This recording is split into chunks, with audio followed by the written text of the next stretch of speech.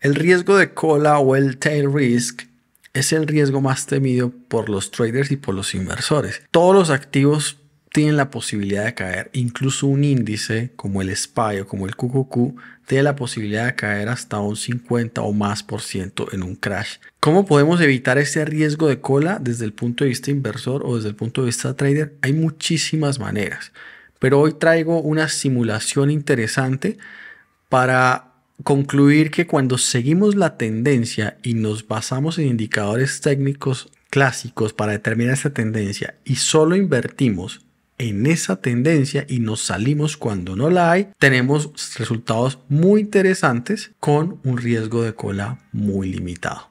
Acompáñame entonces a ver esta simulación. Para explicarles este tema he decidido abrir una cuenta en Spider para hacer unas pruebas de este tipo. TrendSpider simplemente es una plataforma de gráficos y que te permite hacer algún tipo de simulación o backtest de estrategias. En esta yo voy a simplificarla de la siguiente manera. Voy a utilizar un filtro para entrar, solamente para entrar, con seguimiento de medias móviles.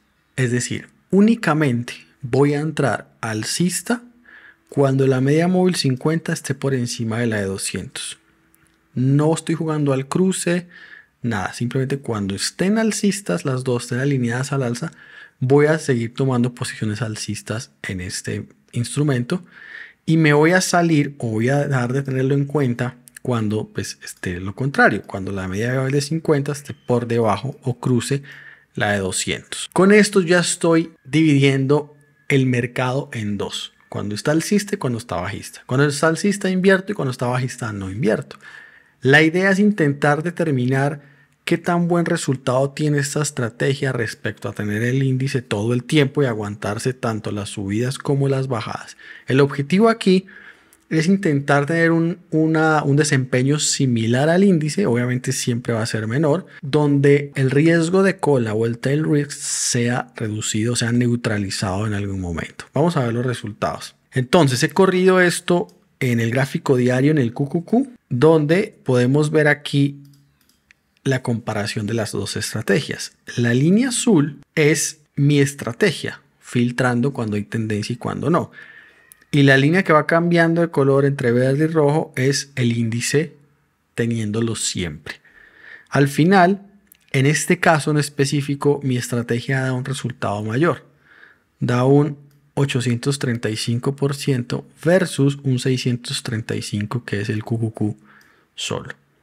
Si ustedes miran la diferencia principal es que cuando hay caídas, como en esta de acá de 2022, la línea azul, que es mi estrategia, se queda estática. Es decir, en determinado momento cierro mis posiciones y me aguanto toda esta caída, no entro hasta que no vuelva y se ponga positiva la tendencia. Por eso, esta solo tiene una caída limitada, mientras que el QQQ solito tiene una caída mucho más fuerte. Con esto logramos el objetivo y es bloquear esas pérdidas tan fuertes. Hay periodos donde se encuentra, por ejemplo, aquí en la burbuja financiera. Miren cómo el índice sigue cayendo hasta principios de 2009, pero aquí nuestra estrategia se mantiene estable. Es decir, no perdemos dinero durante esos dos años. Estamos en espera a que se solucione este tipo de problema en la bolsa. Cuando arranca tendencia nuevamente, ahí volvemos a invertir y continuamos de alguna manera con la tendencia.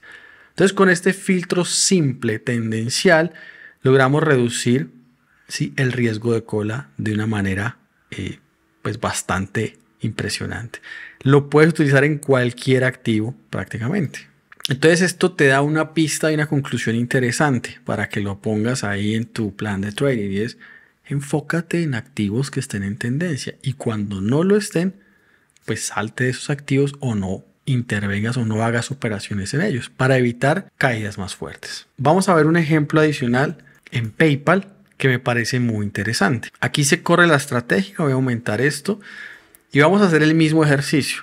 PayPal es esta línea que cambia entre verde, gris y rojo. Ese es el activo PayPal sin haberlo tocado. Solamente tú compras y te quedas esperando. Al día de hoy, sí, estuvo en un 700%, pero al no vender, estás hoy perdiendo toda esta ganancia porque estás solamente en un 70%. Es decir, te comiste toda la caída por aguantar el activo.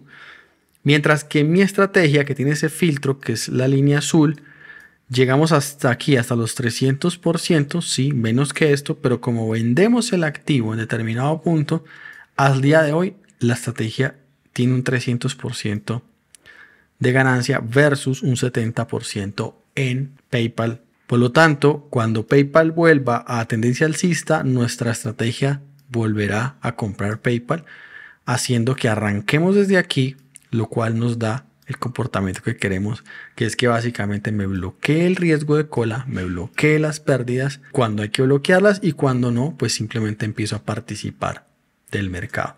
Esto lo puedes probar con cualquier activo y vas a ver que el comportamiento es muy similar. En algunos casos, la rentabilidad se reduce en, mi, estrategia o mi propuesta de estrategia, pues básicamente porque estás limitando el invertir todo el tiempo y te limitas a invertir en ciertos periodos de tiempo. Eso hace que a veces tengas un costo de oportunidad y de menor resultado. Pero lo que sí te garantizo es que va a bloquear el riesgo de caída notablemente. Entonces te invito a que tomes apuntes de esto y mires a ver si lo incluyes en tu plan de trading. Si tú crees que esta información es importante, relevante y tiene valor, considera darle like y compartir este video para que muchas más personas lo puedan ver. Y si quieres estar al día en todos estos temas en mi canal, te invito a suscribirte al canal y darle like para que YouTube te avise cada vez que sale este nuevo contenido. Así que muchísimas gracias por llegar hasta acá y nos vemos en el próximo video.